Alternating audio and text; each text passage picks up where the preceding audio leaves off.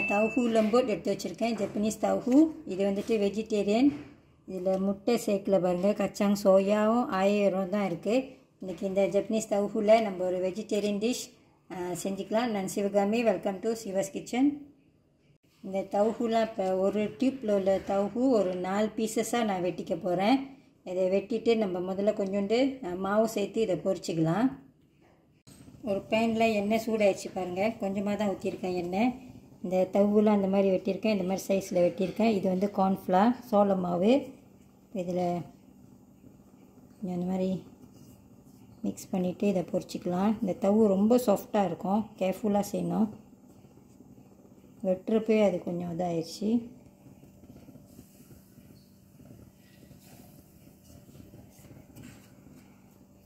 நல்லா பொறுமையாக பார்த்து இதை செஞ்சுக்குங்க. இல்லைன்னா எல்லாம் உடஞ்சி போயிடும்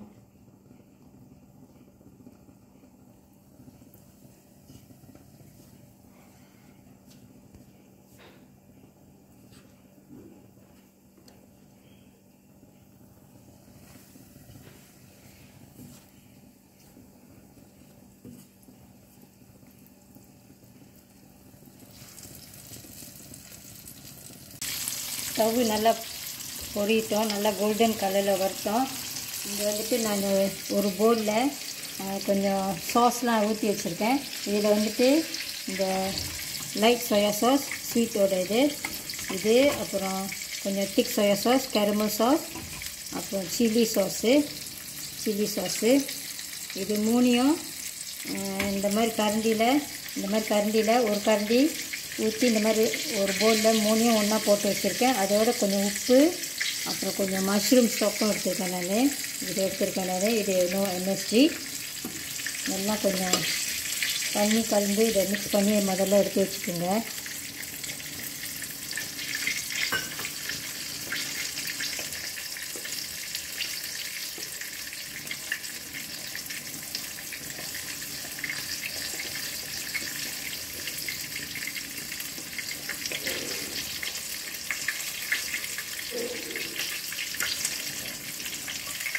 அடுத்து இங்கே ஒரு டீஸ்பூன் மாதிரி ஒரு டீஸ்பூன் ஆனால் கொஞ்சம் மலை மாதிரி இருக்குது பாருங்க.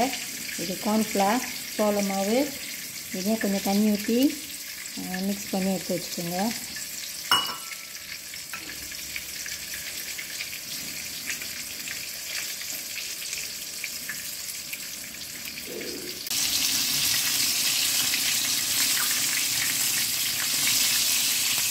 தெரிக்கும் பார்த்து செஞ்சுக்கோங்க.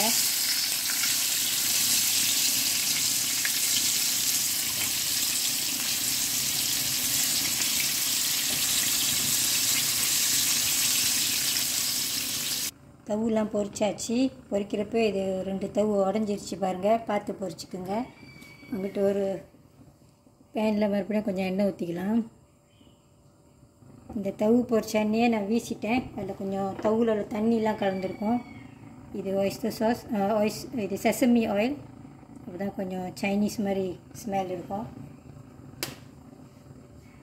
இது பூண்டு ஒரு பத்து பல் பூண்டு எடுத்து இந்த மாதிரி சின்னதாக வெட்டிக்கோங்க. சின்னதாக சாப் பண்ணி எடுத்து வச்சுக்கோங்க. இதை மொதல் போட்டுக்கலாம்.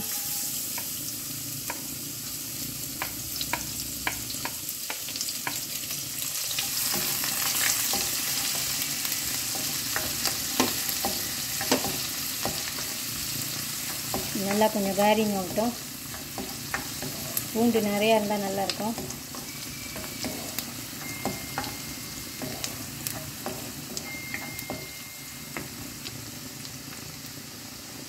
அடுத்து கொஞ்சம் ஒரு கொடை மிளகா வெட்டி வச்சுருக்கேன். சோப் கலரு அப்புறம் இது மஞ்சள் கலரு இந்த மாதிரி உள்ளது. இதில் ஒரு பாதி எடுத்துருக்கேன் நான். நீங்கள் பச்சை வச்சுருந்தீங்கன்னா அதை கூட எடுத்துக்கலாம். இது வந்துட்டு ஒரு தக்காளி சின்னதாக வெட்டியிருக்கேன். எல்லாமே சேம் சைஸ் மாதிரி பார்த்து வெட்டிக்கோங்க.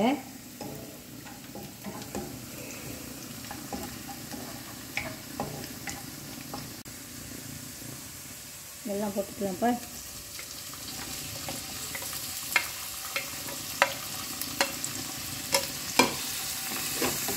கொஞ்ச நேரம் வேகட்டும்.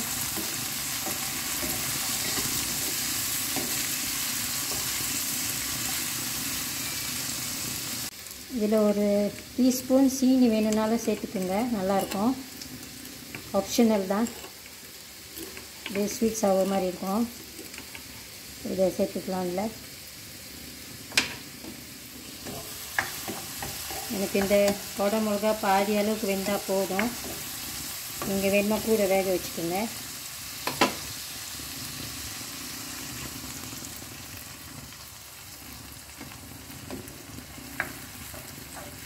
கொதிக்கிட்டோம்.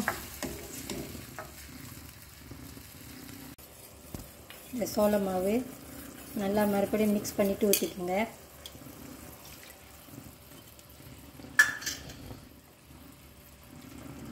இந்த தவியம் இப்போ இதில் சேர்த்துக்கலாம்.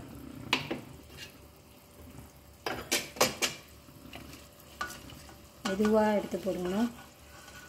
உடஞ்சிரும் இல்லைண்ணா.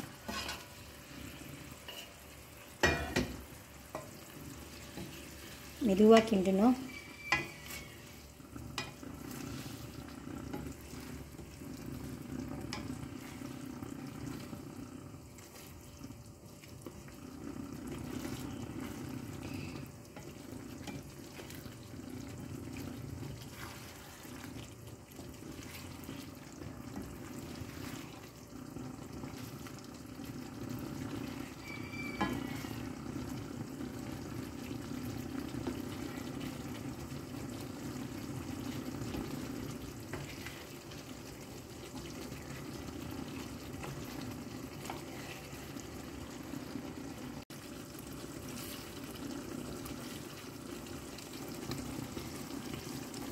மெதுவாக கிண்டுங்க உடஞ்சிடும் உடஞ்சிரும். இப்போ இது ரெடி ஆயிடுச்சு. நம்மளோட கார்லிக் ஜப்பனீஸ் ஸ்டவ்வு வெஜிடேரியனாக ரெடி ஆயிடுச்சு. கடைசியாக கொஞ்சம் டவுன் பவாங் சேர்த்துக்கலாம். நான் அடுப்பு அடிச்சிட்டேன்.